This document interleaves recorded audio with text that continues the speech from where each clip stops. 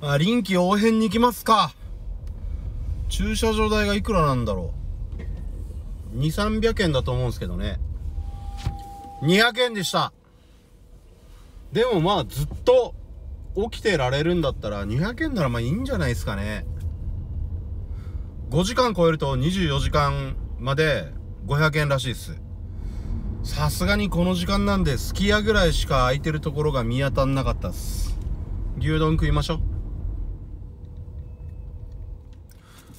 なんか Google マップに24時間の焼肉屋が安くていいところがあるって書いてあったから信じてきたのに、やっとらんかったで。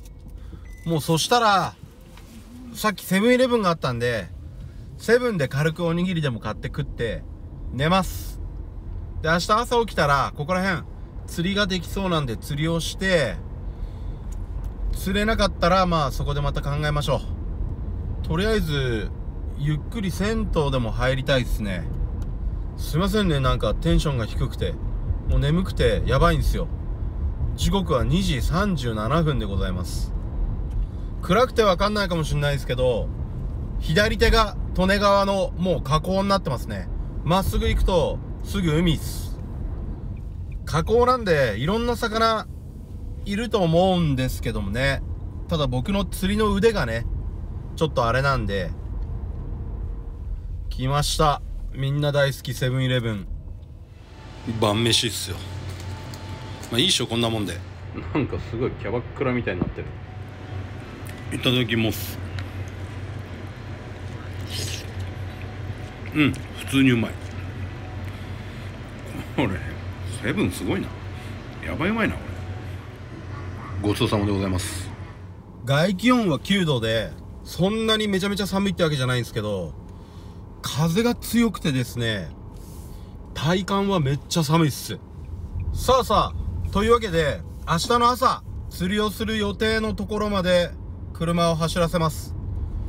ここら辺の釣り情報は全然わかんないんですけど、一応この鳩が出てるところ、そこに陣取れば多分釣り人が朝来るんじゃないですかね。まあでも今もう3時過ぎてるんで、起きたら10時とかじゃないですか。で、さすがの千葉ですね。海沿いにもコンビニがめっちゃある。これは、食い物はいざって時には大丈夫そうですね。で、定食屋探したんですけど、海鮮丼がどこもの軒並み高いんすよ。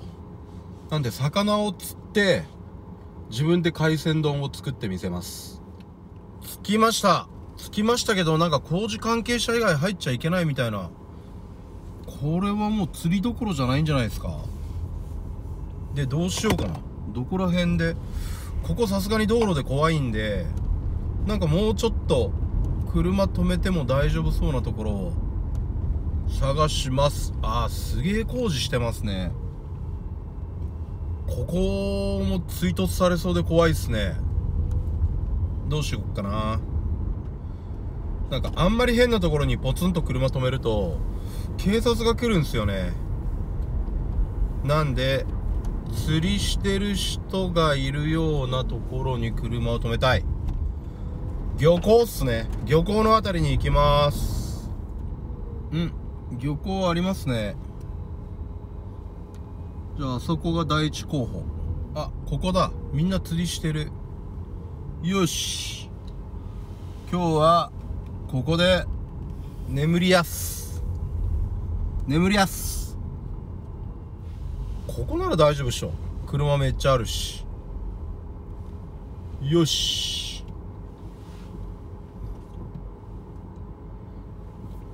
いや疲れた